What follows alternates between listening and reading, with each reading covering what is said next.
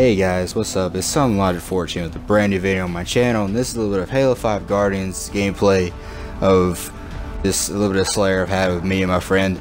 And I'm here to talk to you guys about the Forge mode that's coming out this month, and what you can expect going on into the future of this channel, and what I want to produce for you guys as content for Halo Forge and for custom games. I am looking forward to getting involved in just the community itself because there's so much stuff that we can produce out of this forge like the, my creativity is gonna go wild once I get my hands on it.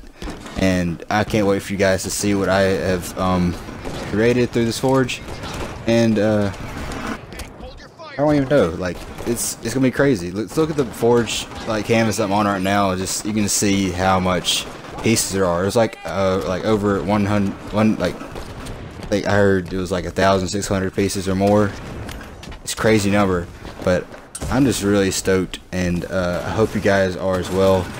And uh, there's lots of other things going on outside of Halo that I've been playing. I'm playing uh, Destiny, and they had a new DLC or like a like a three three week trial thing of uh, the Sparrow Racing League, and that was really fun.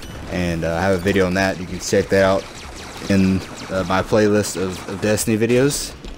And if you um, haven't heard that they're releasing a GTA 5 online update of mansions and all kinds of crazy stuff with yachts, and it's gonna be insane. So y'all guys have a lot to be looking forward to on this channel, and uh, I have lots of plans for Forge mostly because since I'm on Halo 5, I have to talk about Forge. But um, yeah. Please subscribe, guys and be on the lookout for more content like this. And uh, yeah, I'm out.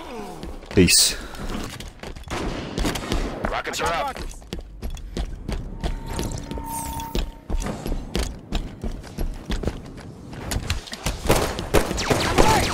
Watch the enemy fire!